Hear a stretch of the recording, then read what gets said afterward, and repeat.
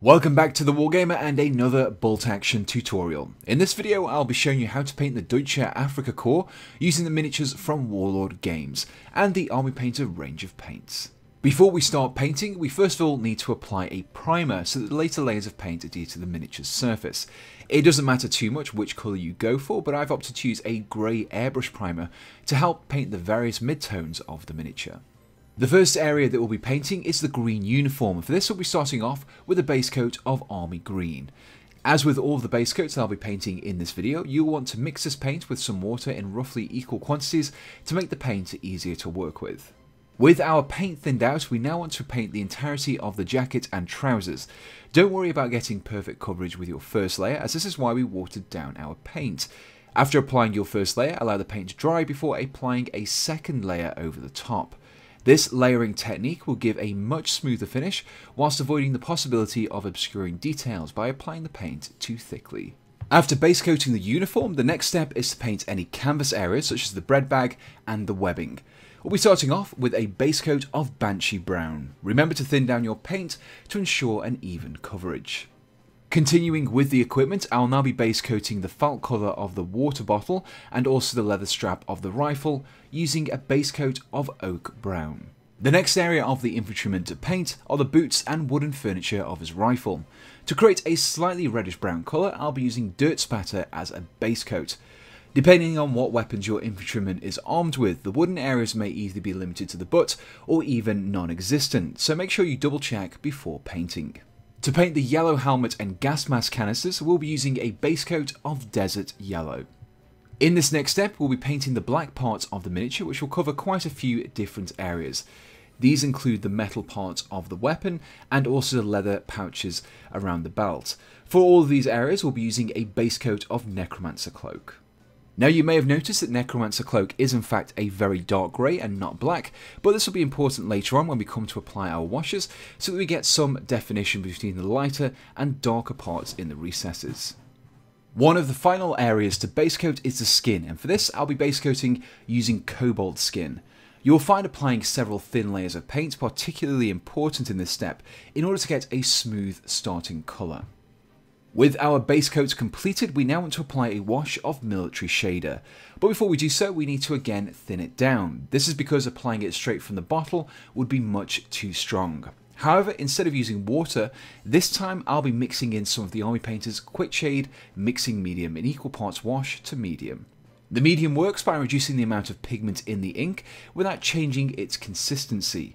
I find that this results in a much smoother and more subtle result than mixing in with water. However, if you don't have access to this medium, you could instead use a distilled water. Using this thinned down mixture of military shader, you want to apply a good layer over the jacket and also the trousers. For the various brown and yellow areas of the miniature, I'll be applying a wash of strong tone. To add shading to the areas that we painted using Necromancer Cloak, use a wash of dark tone. Finally, for the skin, we'll be using some flesh wash to help to add some definition and bring out the facial details. Once the washes have dried, we now want to add some highlights to help improve the level of detail. To do this, lightly drag the tip of a thin brush along the raised edges. This will create a small line of lighter paint along the raised areas, helping to improve both depth and definition. We will start off by painting the jacket and trousers using combat fatigues. By thinning down the paint with just a little water, we should make this task much easier as the flow of paint should be smoother than if you use it straight from the bottle. To pick out the folds of the canvas bag and the webbing, we'll be using a base coat of Drake Tooth.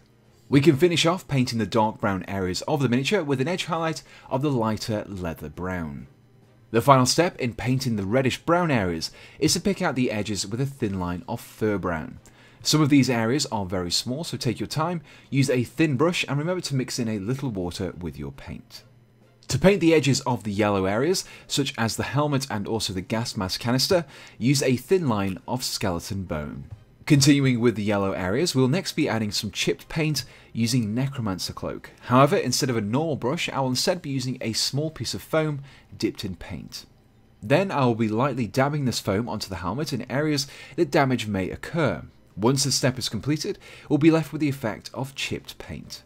The next area to highlight are the black leather areas, and for this we'll be applying a thin line of spaceship exterior. Finish off painting the skin with a highlight of Corpse Pale. Using this paint, you'll want to pick out the more prominent features of the face with a thin line. These areas include the nose, lips, chin, and also the cheekbones. In this final step, we'll be using the metallic paint gunmetal to highlight the edges of the metal parts of the rifle, and also to base coat some of the large metal areas such as the buckles and pouch buttons. By highlighting the edges of the rifle's metal, it will create the effect of blackened metal that has become worn through use. And here we have the completed DAK Infantryman. I finished things off by varnishing the miniature before creating a simple basing scheme using some textured paint and grass tufts. You can find a full list of all the paints that I've used in this tutorial in the description below, along with any other equipment that I've used to create this video, such as my everlasting wet palette.